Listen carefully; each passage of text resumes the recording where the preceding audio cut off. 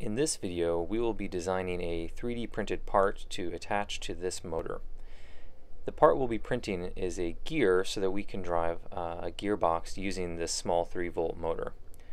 We'll be making use of some digital calipers to take a few measurements on the motor itself. Uh, while I will be taking a number of different measurements, the principal measurement I'm most interested in for our 3D print uh, at this time is going to be the shaft itself.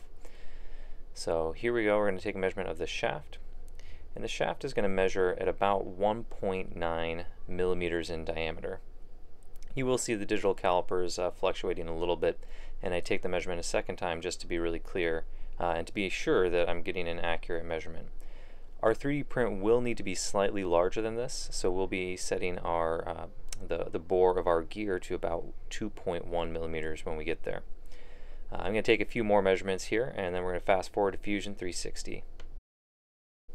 So here we are in Fusion 360 and we're going to be making use of the built-in add-ins. So we're going to select the scripts and add-ins and then we're going to scroll down towards the bottom and there's going to be an option called spur gear. Once you click on that, do hit the run button and that's going to open up a menu for us.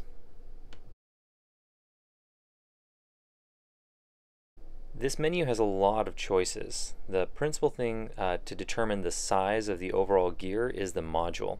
We're going to be picking a very small module number of 0.7. Now when you do that you're going to see some errors down at the bottom. So we're going to make our adjustments uh, to some of these measurements to fix those errors uh, in order to have a gear that's going to print successfully. Uh, so take careful note of all the measurements that we put in here and uh, feel free to follow along in Fusion 360 and copy these same values.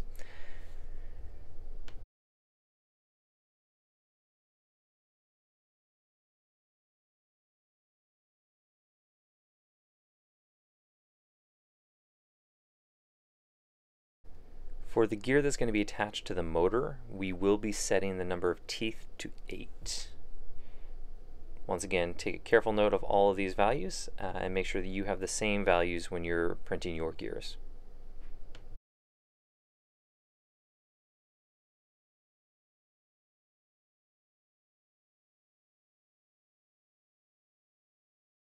So here you can see our very small spur gear with 8 teeth and it has a 2.1 diameter hole.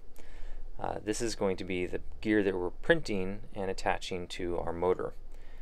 Now I am going to make another gear in this video and that gear is going to be a much larger gear uh, which will mesh with this gear.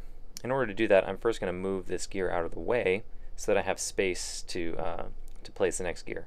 Fusion 360, the, uh, the script that is making the gear, will always uh, place the gear right at the center of the uh, origins. So uh, we're going to move it and then capture the position and then we're going to run the spur gear again. Now one of the nice benefits here is that all the values are the same so the only thing we actually need to change are the number of teeth. Uh, however, the most important value to keep the same is the module number. Uh, as long as the module number is the same here, uh, we will end up with two gears that will mesh nicely. So I'm actually going to change both the number of teeth and the size of the bore going through it. Uh, that way uh, I might be able to attach this to a 4 millimeter shaft to drive a different kind of shaft uh, on the other side of this. So uh, you may make different choices with this one, but this is just to demonstrate how we can have more than one gear that will mesh nicely uh, using Fusion 360. So here I'm just going to demonstrate by moving the larger gear that they do have a nice, uh, nice, nice mesh.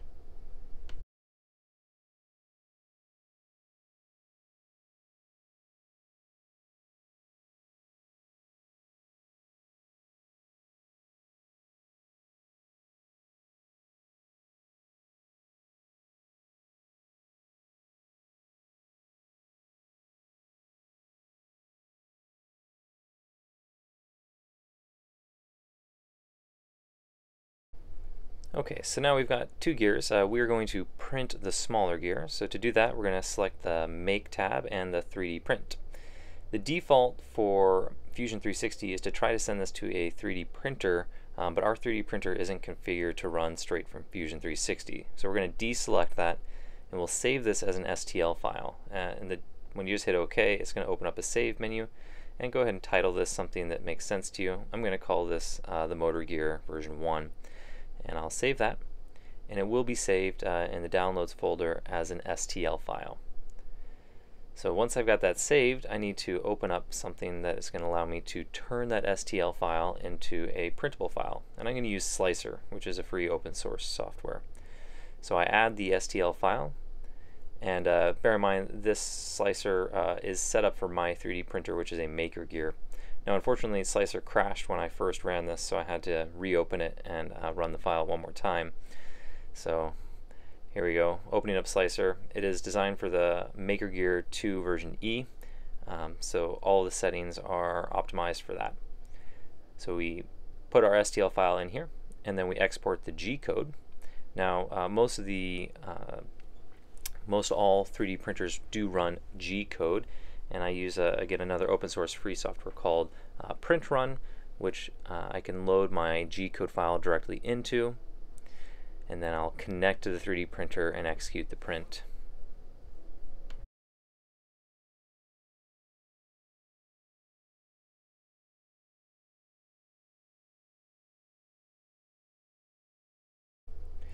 So here I've connected to the 3D printer and you can see that everything highlights uh, and I have buttons that I can actually press and use now. So I need to set the heater and the bed to the default PLA uh, temperature settings, which are 220 for the tip of the printer and uh, 60 for the bed. Now I fast forwarded this so that the temperature raises much more quickly and we can get right into the printing. And so here you can see that the Printrun actually uh, follows the 3D printer as it's being printed uh, with a nice little green uh, line. This is uh, at a much faster speed. It took a total of about two minutes to print this uh, small gear.